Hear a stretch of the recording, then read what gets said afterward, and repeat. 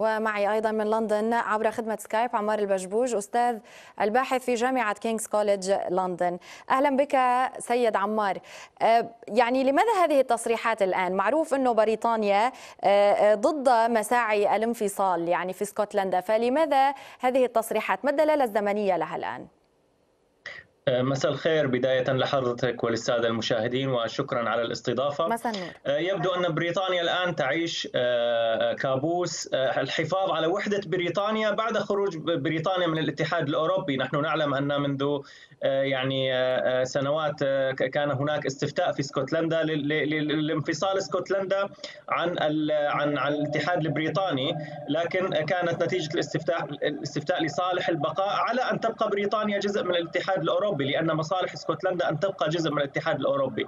بعد نتيجة البريكزيت الأخيرة وخروج بريطانيا من الاتحاد الأوروبي آه الآن آه, آه، طبعا يخيم شبح أن أن أن يقوم الحزب المحافظين أو عدة أحزاب موجودة في اسكتلندا سوف تطالب باستفتاء آخر على اعتبار أن ما, ما نتائج الاستفتاء السابق بني على بقاء بريطانيا في الاتحاد الأوروبي، أما الآن بعد خروج بريطانيا أعتقد أن الإسكتلنديين سوف يذهبون إلى استفتاء آخر وخصوصا أن يعني حتى باستفتاء بريكزيت أغلب الإسكتلنديين صوتوا لصالح البقاء لكن مع الاتحاد الأوروبي. لكن آه، على اعتبار أن البريطانيين صوتوا للخروج فخرجت إسكتلندا مع بريطانيا وهذه هذه معضلة آه، سوف وما هي خيارات آه، حكومة بوريس جونسون سيد عمار بهذا الشأن؟ إذا ما قرر الإسكتلنديون بالفعل المضي باستفتاء ووفق كل المعطيات التي تحدثت عنها يعني هم سيصوتون هذه المرة للخروج للانفصال.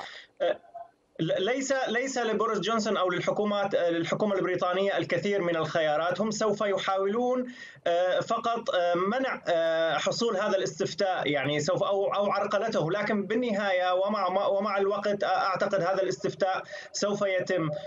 والمراقبون بشكل عام يعني يتوقعون ان أن يتم الاستفتاء لصالح انفصال اسكتلندا عن عن عن الاتحاد البريطاني. فمنح صلاحيات إضافية للبرلمان البريطاني البريطاني سوف يؤدي إلى تسريع هذا الاستفتاء، فما يقوم به بوريس جونسون اليوم هو أن لا يتم هذا الاستفتاء في عهدي لأن هناك لأن لأن آه، لديه الكثير حقيقة من من التحديات المتعلقة ببريكزيت وكيف سوف تخرج بريطانيا من الاتحاد الأوروبي وما هي الخطوات وكيف سيتم عقد اتفاقيات مع الاتحاد الأوروبي. ثم سوف يفكرون بموضوع كيف يعني يحلون الأزمة مع مع اسكتلندا لكن في الوضع الراهن أن أن تقوم اسكتلندا بهذا الاستفتاء وبريطانيا ما زالت آه، تعاني من من تبعات آه، البريكزيت وخروجها سوف تكون يعني آه، يعني ضربتين على الرأس يعني على بالنسبة لبريطانيا وبالتالي سوف هذا يعني يؤدي إلى قد قد يؤدي إلى مشاكل لدى حكومة بوريس جونسون،